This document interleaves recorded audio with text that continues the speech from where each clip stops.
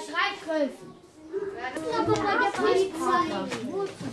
Das Schnittfehler. Fünf. Wer hat das gefragt? Mama von Ich Anna. habe auch einen Ninja. Spielen. Zweite Aufgabe ist das schöne Schreiben. Und als drittes nimmst du dir dein Arbeitsheft, schreibst es ein K.